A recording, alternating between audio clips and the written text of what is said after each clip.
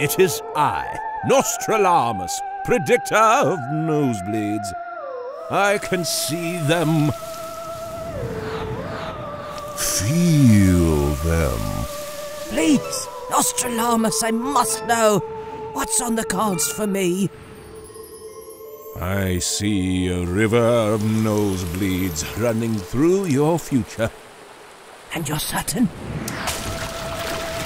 There's no avoiding it? Let's just say it's a self fulfilling prophecy. A what?